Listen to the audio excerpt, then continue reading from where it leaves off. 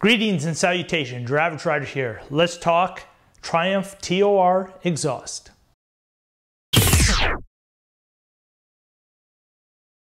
So this is my before video filmed in 2016 with the equipment I had at the time. Stock Bonneville, stock exhaust, stock pretty much everything. Why don't you grab your favorite headphones and give a listen.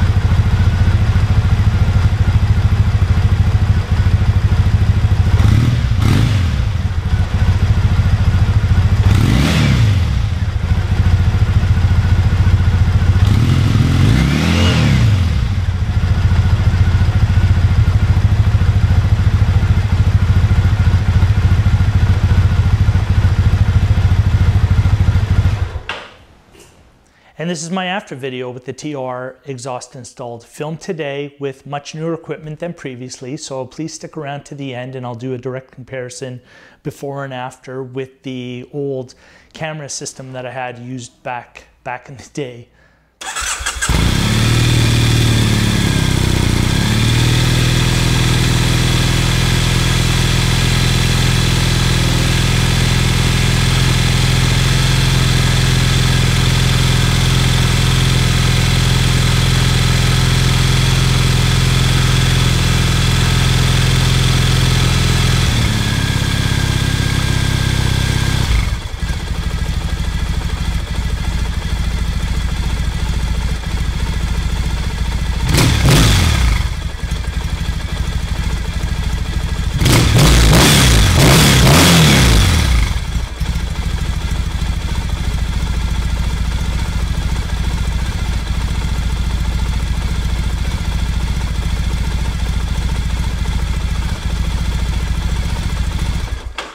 So as you can tell, not only is the exhaust bark quite a bit louder, but with the engine tune and the other modifications that I had done, it brought the usable power down from 3000 RPM and above down to 2000 RPM and above. I have way more torque. I, it just drives so much better. I accelerate better. I highly recommend getting the Triumph TR, TOR exhaust.